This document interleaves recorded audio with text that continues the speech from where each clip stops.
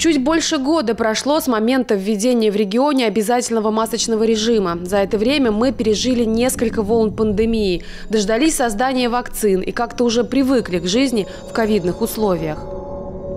Снято большинство ограничений, но расслабляться все еще рано. Коронавирус не делся никуда. Практически в ежедневном режиме сообщают о новых штаммах. Эксперты предрекают очередную волну заболеваемости. Мы расцениваем на данный момент ситуацию по коронавирусной инфекции как э, стабильную, то есть имеющую тенденцию к стабилизации.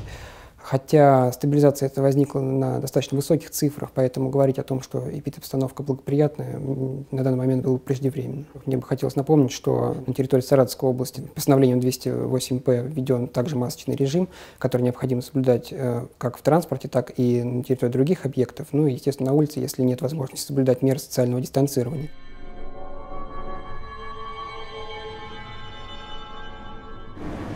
Здравствуйте. Скажите, пожалуйста, мы снимаем, насколько люди соблюдают э, масочный режим? Почему без маски? Господи, я забыла. И так всегда носите, да? Вот она лежит. Конечно, всегда ношу, но я привитая. И если в магазине еще как-то соблюдают масочный режим, пусть и при напоминании... Воспользуйтесь масочкой. Вот они посажены то в набитом общественном транспорте отсутствие средств индивидуальной защиты никто не контролирует. Между тем, по словам главы Роспотребнадзора Анны Поповой, именно автобусы, трамваи, троллейбусы и особенно маршрутки сегодня наиболее опасны в плане распространения инфекции. В переполненном транспорте соблюдать социальную дистанцию невозможно.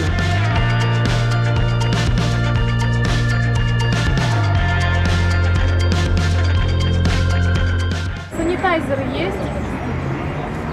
Что? Санитайзеры. Это что такое?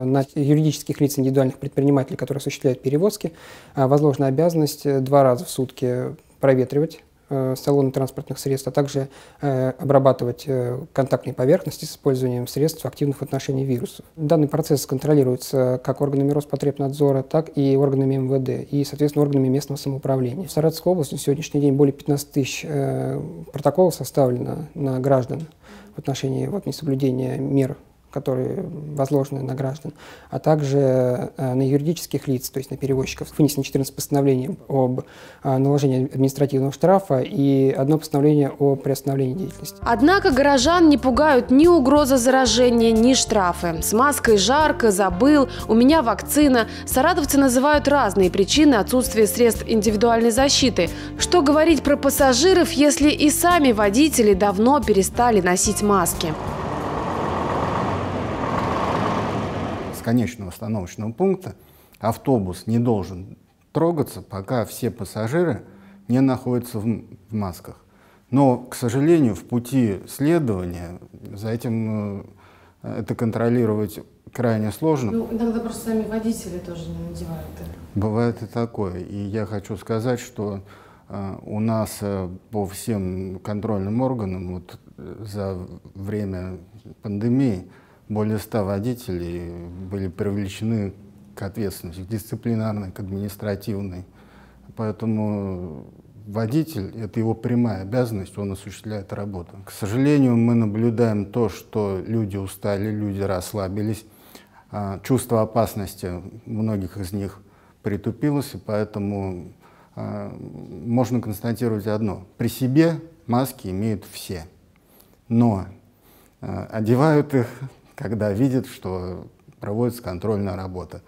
К сожалению, сейчас большинство пассажиров маски во время движения не используют. В транспорте вообще не опасаетесь без маски? Опасаемся.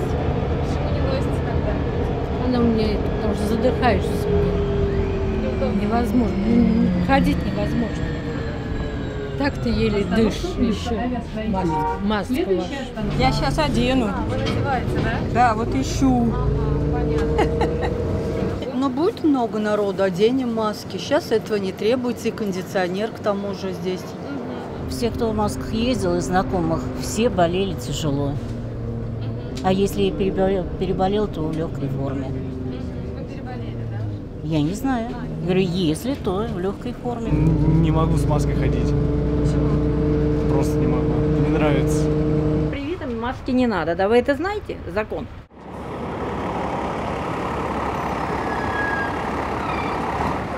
Многие из тех, кто прошли эту процедуру, ошибочно думают, что им не, нет необходимости носить в общественном месте маски. Это не так. Вакцина, она эффективна, но этот человек может получить э, инфекцию, которую передаст третьим лицам. Поэтому, повторяю еще раз, масочный режим обязательно в общественном транспорте для всех, тех, кто прошел вакцинацию, тех, кто не прошел, тех, кто пройдет. Это обязательное требование. Пока в России темпы вакцинации оставляют желать лучшего. В ряде регионов даже решили пойти на крайние меры. В Якутии заикнулись об обязательности прививок, но были оперативно поправлены президентом Владимиром Путиным. Я еще раз хочу обозначить здесь свою позицию. На мой взгляд, вводить обязательную вакцинацию нецелесообразно и нельзя. Граждане должны сами, сами осознать эту необходимость. Эпидемиологическая обстановка в Саратовской области остается напряженной. За год пандемии более 62 тысяч заболевших и уже больше тысячи умерших от ковида. Во многих регионах России во время пандемии коронавируса проходят акции, напоминающие о важности ношения масок в общественных местах. Российские волонтеры надевают средства индивидуальной защиты на наиболее значимые городские памятники. Даже на бронзовых фигурах московского метрополитена появились маски. Мы тоже решили поддержать эту инициативу и для того, чтобы привлечь внимание саратовцев к соблюдению мер безопасности, примерим на некоторые центральные памятники все еще необходимый атрибут на время пандемии.